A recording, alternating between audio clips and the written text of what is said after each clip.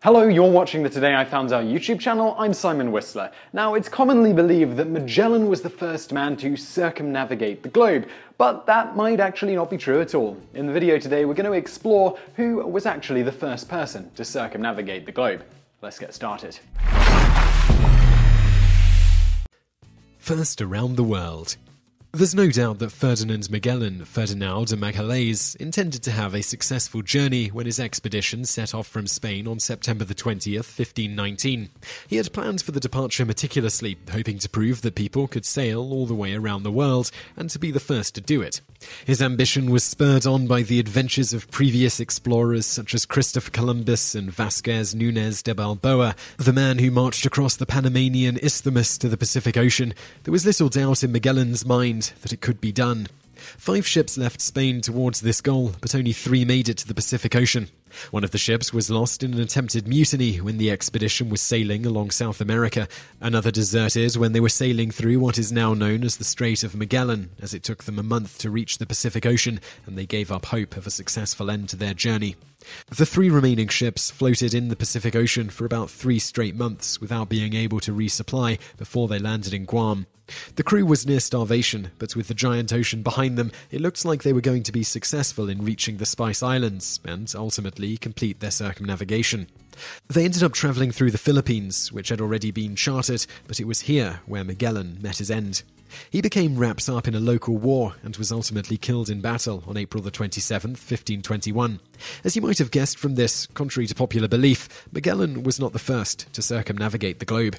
So, if Magellan wasn't the first, who was? This is slightly up for debate. The honour may go to Magellan's personal slave, Enrique of Malacca, though it isn't quite clear whether he made the last 1,000 or so miles necessary to actually officially complete the trip, or if he did when he did it.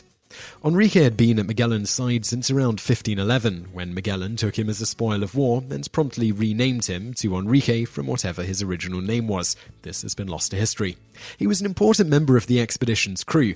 Antonio Pigafetta, scholar and one of the two crew members to keep a journal, and later publisher of First Voyage Around the World, wrote that the slave was one of the reasons Magellan was able to convince the King of Spain to finance the expedition.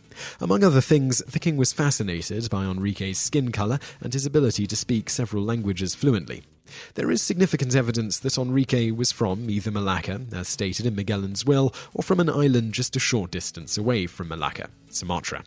This is further backed up by the fact that Enrique acted as an interpreter for the crew around the area of Indonesia. If that's the case, then Enrique came extremely close to completing his circumnavigation of the globe when he returned to the region after the jaunt around the globe, long before the rest of the European explorers were anywhere close to Spain. What isn't known is if he actually managed to make it home, as he disappeared from the expedition not because he died, but because he seemingly rightfully betrayed the crew.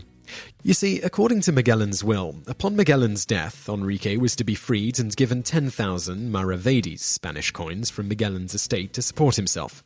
After Magellan's death on the 27th of April 1521, the captain of the Santiago, Juan Serrano, decided to ignore the will and told Enrique he would remain a slave. Most likely, he made this decision simply because the expedition needed its interpreter, and as they were nearing Enrique's original home, it may have been the case that he'd have liked to leave if given his freedom. Whatever the case, the price of keeping Enrique a slave would very shortly be Serrano's life. Four days after Magellan's death, while on the island of Cebu, Pigafetta speculates, or at least he doesn't say how he knew this, that Enrique, working as a translator, told the chief of Cebu there, Raja Humabon, that Europeans were going to attempt to enslave him and his people, as they had done to Enrique. Thus, Humabon invited several of the remaining officers and crew to dinner. Pigafetta states that he remained on the ship due to a wound he'd received a few days before. Eventually, a few crew came back and stated that the natives were behaving oddly. Next, according to Pigafetta, Scarcely had they spoken these words when we heard loud cries and lamentations. We immediately weighed anchor and, discharging many mortars into the houses, drew in nearer to the shore. When thus discharging our pieces, we saw John Serrano, in his shirt, bound and wounded, crying to us not to fire any more, for the natives would kill him. We asked him whether all the others and the interpreter were dead. He said they were all dead, except the interpreter. He begged us earnestly to redeem him with some of the merchandise, but Johann Carvalho, his boon companion, and others would not allow the boat to go ashore so that they might remain masters of the ship. But although John Serrano, weeping, asked us not to set sail so quickly, for they would kill him, and said that he prayed to God to ask the soul of Johann Carvalho, his comrade, in the day of judgment, we immediately departed. I do not know whether he is dead or alive. If it's true, Enrique successfully got his revenge on Serrano, who had denied him his freedom as stipulated in Magellan's will. Whether Enrique really betrayed his captors or not, he was now a free man and apparently uninjured, with no interest in returning to the ship, as he isn't mentioned begging for them to come to get him, as with Serrano.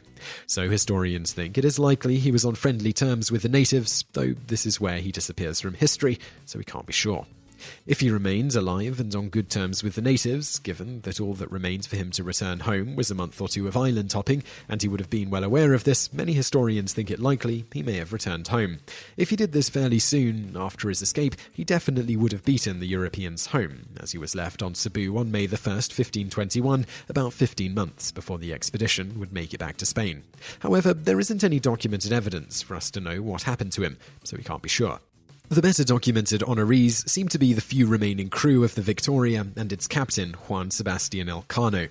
The ship was the only vessel from the expedition to return to Spain after their trip around the globe. It landed on September the 6th, 1522, about three years after their initial departure, with just 18 men on board out of the initial 241 or so that set out on the journey.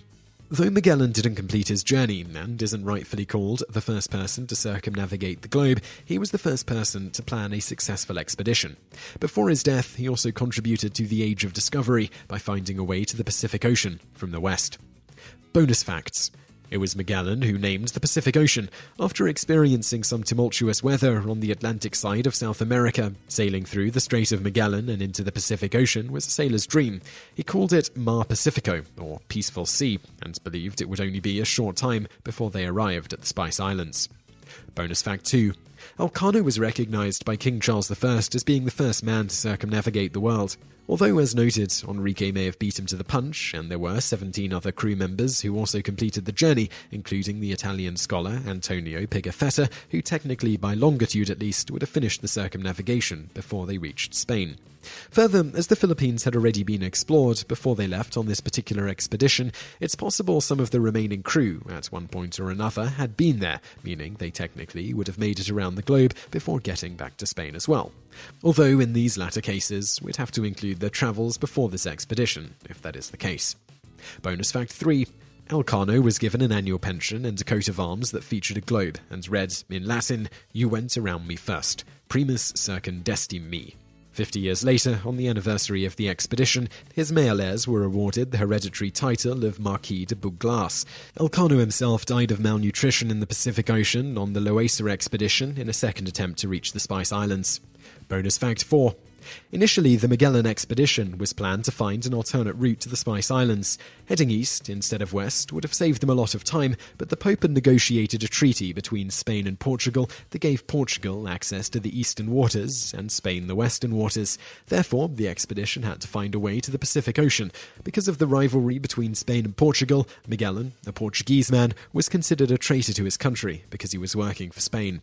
Bonus fact 5 as noted in his will, Magellan stipulated that Enrique should be set free upon his death. Specifically, it stated, and by this my present will and testament I declare and ordain as free and quit of every obligation of captivity, subjection, and slavery my captured slave Enrique, mulatto, native of the city of Malacca, at the age of twenty six years, more or less, from the day of my death, thenceforward, forever the said Enrique may be free and manumitted, and quit, exempt, and relieved of every obligation of slavery and subjection, that he may act as he desires and thinks fit. And I desire that of my estate there be given to the said Enrique The sum of 10,000 maravedis in money for his support, and this manumission I grant because he is a Christian, and that he may pray to God for my soul. Bonus fact 6. It would be another 58 years before a second circumnavigation of the globe was completed by Englishman Sir Francis Drake. Like Magellan's expedition, only one ship survived the ordeal. So I really hope you liked that video, and if you did like it, click like below and leave us a comment to let us know what you think. And also check out a couple of our other videos, which are linked to on the screen now, and don't forget to subscribe for brand new videos every day. Thanks for watching.